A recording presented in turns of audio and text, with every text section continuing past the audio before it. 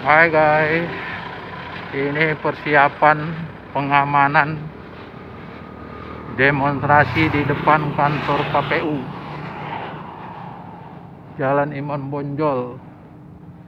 Tadi di depan Bundaran HI itu dikasih barrier ditutup jalannya. Jadi sekarang ini situasi di Jalan Imam Bonjol. Ini Bapak aparat keamanan lagi istirahat untuk persiapan penjagaan.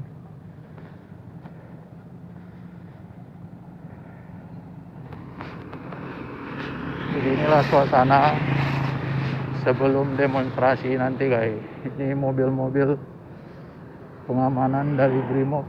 Tuh, siap siaga. Ini adik-adik dari Brimob. Lagi istirahat. Jam makan siang.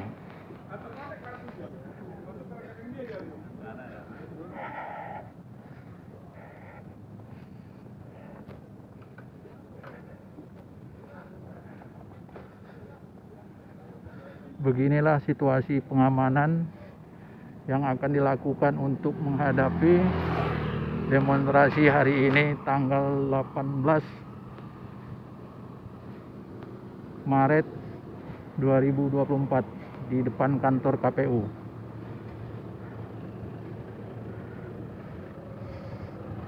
Tidak ada mobil lain selain mobil aparat keamanan, guys.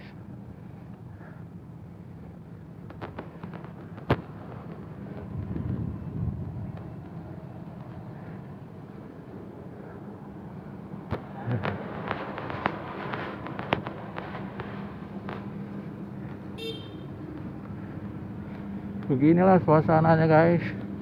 Sebelum demonstrasi nanti jam 1.30 sekarang masih sepi. Yang ada cuman aparat keamanan berjaga-jaga dengan segenap peralatannya. Begini guys.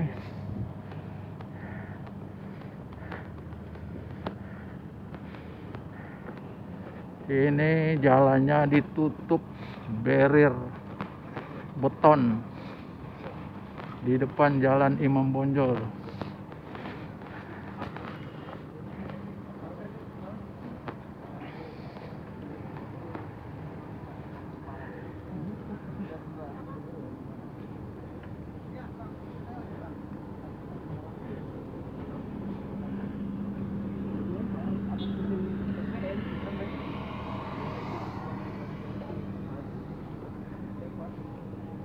Alhamdulillah sudah sampai kita di depan kantor KPU tadi pagi jam 8 dari Cilegon terus turun di stasiun kereta api Tanah Abang.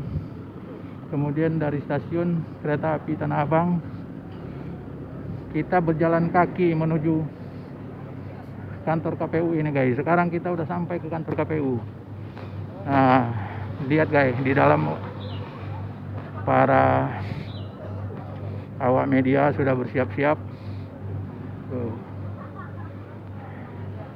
Beginilah situasinya.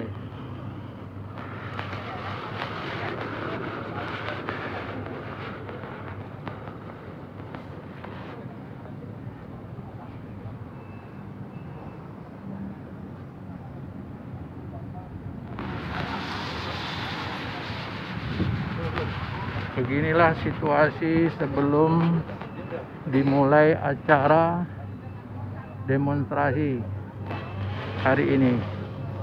Nanti sekitar jam 1.30 kita lihat apakah di sini akan ramai orang yang mengikuti demo.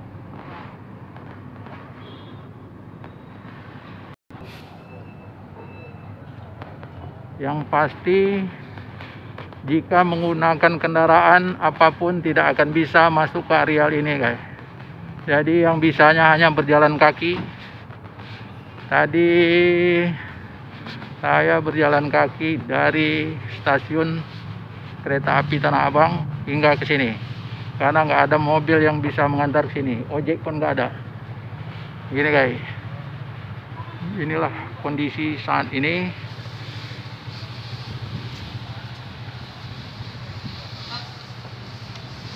demikian guys. Nanti seandainya sudah dimulai kita akan liput lagi.